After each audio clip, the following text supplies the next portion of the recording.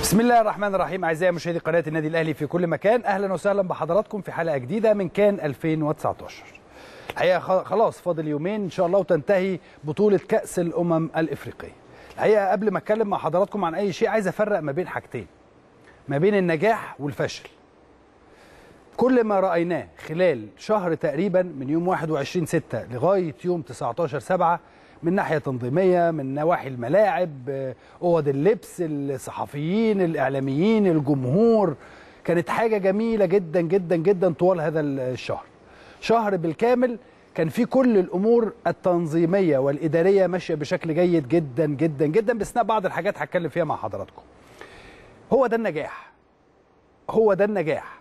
يعني إيه نجاح؟ يعني إن أنت تعمل حاجة على على قد ما تقدر على أكمل وجه. مفيش حاجة طبعا بتفضل على بتخلص على أكمل وجه. ولكن أن يكون هناك تنظيم لبطولة كأس الأمم الأفريقية بهذا الشكل وبهذا المستوى وبهذا وبهذه الملاعب الرائعة وبهذا التنظيم الرائع جوه الملعب وبره الملعب ودخول الجمهور وخروج الجمهور وزي ما حضراتكم شايفين الجمهور ابتدى يبقى أكتر وأكتر خلال الأدوار الأخيرة وبالتالي كان هناك تنظيما رائعا من كل من عليهم التنظيم خلال هذه الفترة. الفشل ما حدث مع منتخبنا الوطني. هو ده الفرق ما بين يعني حضراتكم شفتوا في أثناء كأس الأمم الأفريقية الفارق الكبير ما بين النجاح والفشل. النجاح شفتوه خلال شهر أو أقل من شهر شوية حصلت كل حاجة جيدة جدا. الفشل هو ما حدث مع منتخبنا الوطني وأي حد هيقول أي كلام تاني.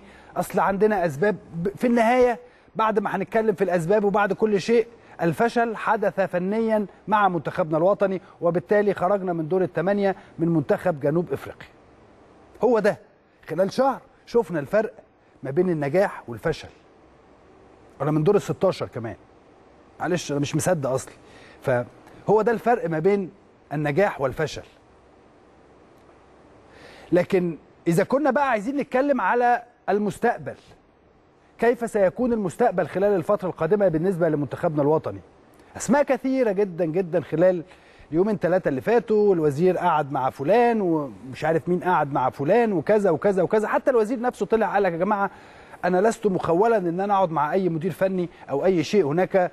مدير تنفيذي هو اللي بيسير أمور الاتحاد المصري لكرة القدم وبالتالي هو اللي بيختار الجهاز الفني ويجب أن يكون هناك اختيار للجهاز الفني للمنتخب خلال الفترة اللي جاية يعني.